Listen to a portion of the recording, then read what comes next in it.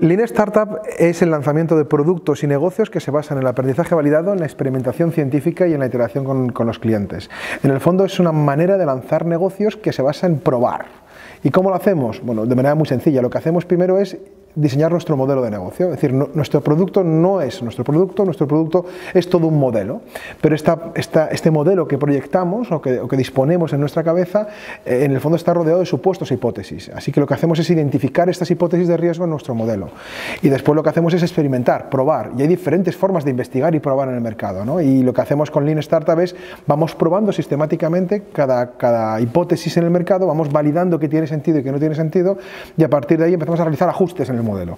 Digamos que lo rápido que aprendas es el valor que tiene Lean Startup. Es decir, Lean Startup es lo rápido que somos capaces de entender cuál es el modelo de negocio que sustenta nuestro producto o servicio.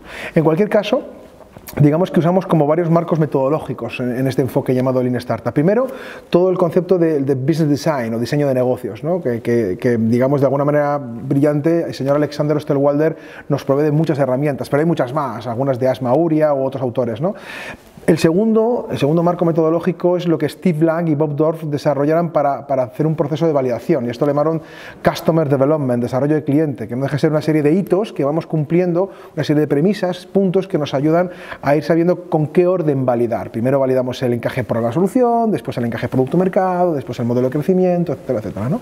Y el tercer marco metodológico que contempla Lean Startup es el desarrollo ágil, es decir, la construcción de productos de manera iterativa e incremental basado en el comportamiento del cliente, haciendo despliegues cortos, iteraciones cortas con el cliente para aprender de su comportamiento. Así que Lean Startup son, digamos, tres principios fundamentales o tres pilares fundamentales, que es el diseño del modelo de negocio, desarrollo de cliente o customer development y desarrollo ágil. Pero que en esencia, quitando este tipo de palabras y marcos metodológicos, en esencia lo que nos lleva a Lean Startup es la aplicación del método científico para la construcción de un nuevo negocio. Es decir, aprender a pensar como científicos cuando uno arranca algo en el cual hay más cosas que no sabemos que las que sabemos.